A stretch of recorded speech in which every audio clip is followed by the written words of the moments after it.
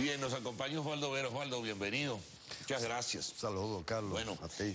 estamos en, en, en el desarrollo casi de una campaña electoral, cuando no en la formalidad, pero surge, ¿no? Y mucha gente de la oposición estima que las decisiones que viene tomando el gobierno de aumentos salariales, de aumento del salario mínimo, aumento para los trabajadores de PDVSA, para los militares, para los educadores, que bien dicen no alcanza, pero que forman parte del contexto de promoción electoral. ¿Qué piensas de eso que, dicen los opositores? Fíjate, Carlos, si uno ve una política continua. Hay una crisis económica, sin duda. No, no, sin ninguna duda, pero si nosotros vemos los acontecimientos, es una política continua, que está en la Constitución, la revisión del salario. Por eso eh, es el aumento número 30. O sea, no es producto de un proceso electoral en particular, sino que es una política continua de revalorizar el poder adquisitivo de los trabajadores y las trabajadoras. Y en este caso particular, eh, sin ninguna duda, hay una situación importante producto de la guerra económica que ha venido eh, afectando el nivel de consumo y el nivel de adquisición de los trabajadores y las trabajadoras. Hay un alto componente desde el punto de vista especulativo de lo que son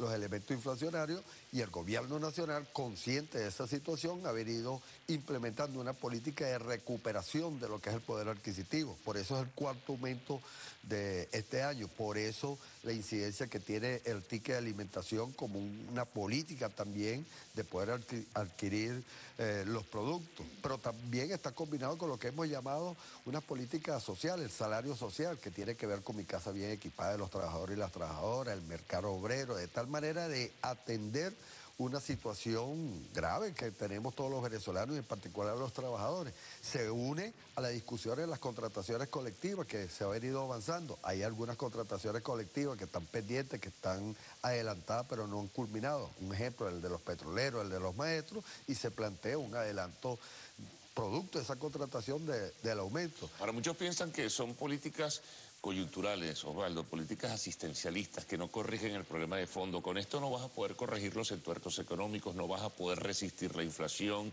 que es un tributo además muy perverso que tiene sobre sus, sobre sus hombros la población venezolana. Entonces, ¿por qué no trabajar con otras decisiones al margen de las necesarias mm, eh, iniciativas de carácter social? No, se está trabajando. Fíjate que conjuntamente con esas medidas de carácter social hacia los trabajadores y las trabajadoras, hacia los pensionados, las pensionadas, tiene que ver con bueno, enfrentar la guerra económica, entre otras cosas, las medidas que se tomaron en el sentido de dar el valor máximo a los productos. el precio máximo de, venta al público. La revisión de lo que era la ley Pero esos son controles, tampoco de precios justos, que es parte de la política. Ahora, estamos convencidos de que hay dos factores fundamentales que también tenemos que desarrollar. Uno tiene que ver precisamente con la guerra económica y sobre todo en la distribución, porque nos hemos dado cuenta que a pesar de los esfuerzos que ha hecho el gobierno con una caída del precio petrolero de más de un 60%, que ha logrado traer los niveles de importación necesarios para garantizar la alimentación,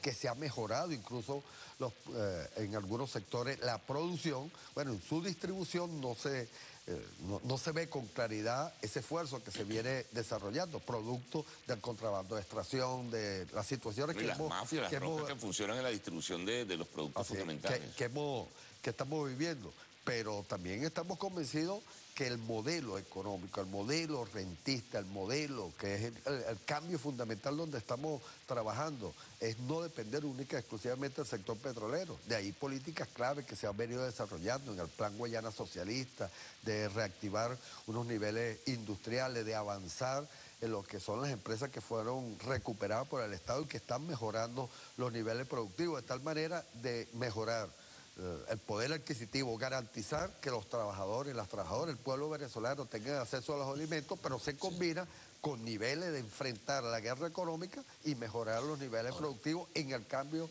de ese modelo rentista que hemos Claro, pero para romper con ese modelo rentista tú necesitas diversificar, pero para diversificar definitivamente, si no cuentas con el apoyo del sector privado, no vas a poder.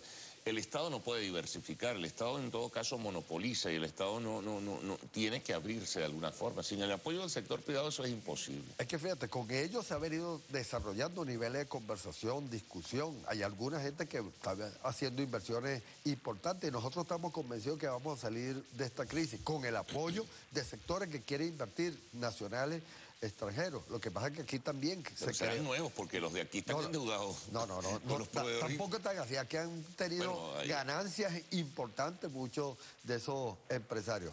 Lo que pasa es que aquí se creó una élite desde el punto de vista industrial que no invertía. Aquí la importación de los productos, bien sea elaborado, bien sea la materia prima, fue la política del sector empresarial. Aquí no hubo esos niveles emprendedores capaces de arriesgar ni ahorita ni en el pasado. De tal manera que se... Ellos hablan de incertidumbre e inseguridad jurídica, que por eso no se Pero eso lo puedes decir ahorita, pero podemos ver la historia que se tiene. Era, claro, pero el eh, problema es eh, resolver el presente, es un, no, vivir de la nostalgia del pasado. No, no, por eso, es un nivel industrial que ha vivido una, única exclusivamente la renta petrolera y no la inversión. No se desarrolló, un ejemplo, esa, ese sector industrial que en Argentina, en Brasil, en Uruguay se desarrolló. Ahora, en estos instantes, el llamado que estamos haciendo y hay niveles de conversación con el sector privado porque se considera que es importante. Ahora, quienes no quieren invertir, quienes quieren utilizar la usura, la trampa, la trácala para enriquecerse con niveles de ganancia muy superiores a los que en el estándar mundial existe, bueno, ahí la política compensatoria de un Estado que va a garantizar ¿por qué como sea... Lo toma? ¿Por qué no? ¿Por qué, por ejemplo, Osvaldo, se me ocurre, esas empresas expropiadas que están muy, muy mal en manos del Estado, pero pésimamente manejadas, bueno, ¿por qué no se acuerda una especie de, de, coordinación mixta, de asociación mixta con otros empresarios que no sean los que ustedes critican, empresarios venezolanos o empresarios de fuera que estén dispuestos a invertir? Fíjate, primero... Porque el Estado monopolizando... primero hay como un falso dilema en el sentido de las empresas que pasan al Estado. Pero un poco ese bloque ideológico, o sea, un ejemplo, ideológico de que el sector privado lo que quiere es enriquecerse únicamente. Un ejemplo, CanTV era una empresa que fue recuperada y sigue produciendo y mucho mejor y mucho mejor que antes porque está en muy buenas condiciones incluso los, te van a decir que eso no es así. Los, niveles de ganancia ahora se reparten entre todos los venezolanos y todas las venezolanas y se ha venido avanzando.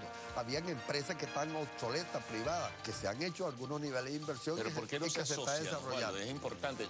Olvídate del capital nacional eh, que ustedes pues los ven con prejuicio. Otros capitales no no pero hacia allá se, se está abocando la política. Hemos considerado necesario la, que, bueno, que, haya un sector empresarial realmente que invierta en sociedad. Se ha venido realizando en algunas industrias. Lo que pasa que lamentablemente, insisto, aquí se desarrolló lo que hemos llamado un sector industrial parasitario que simplemente busca la renta y no los niveles de inversión. Pasado, pasado, presente, presente, No, no, pero bueno. Eh, estamos convencidos que vamos a ganar esta guerra económica que tiene también un factor electoral importante y que con el apoyo de los venezolanos, las venezolanas, del Estado y ojalá del sector privado podamos enfrentar y derrotar esta guerra económica. Muy bien, bueno, muchas gracias. No hablamos del tema político. Bueno, hay tiempo todavía, queda el 6 para volvernos a reunir y conversar sobre el tema político electoral.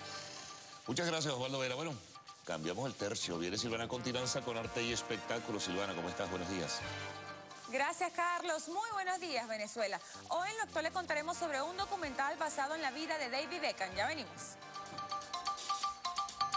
Campeón mundial. Fui a Nueva York y su habitación era un desastre. Había ropa de mujer por todas partes. A ti solamente te importan tus excesos. Al parecer, a nuestro boxeador y cantante le gusta vestirse de mujer. ¿Qué significa esa porquería? Yo voy a demandar a esta revista. Escándalos contra las cuerdas. Lunes, 7 de la noche, por Televen, tu canal. Conéctate con nosotros.